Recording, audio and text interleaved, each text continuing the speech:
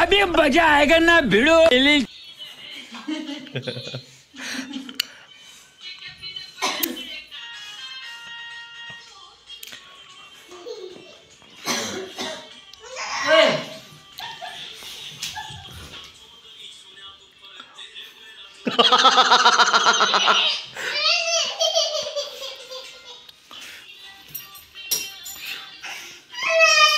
रुको जरा। सबर करो।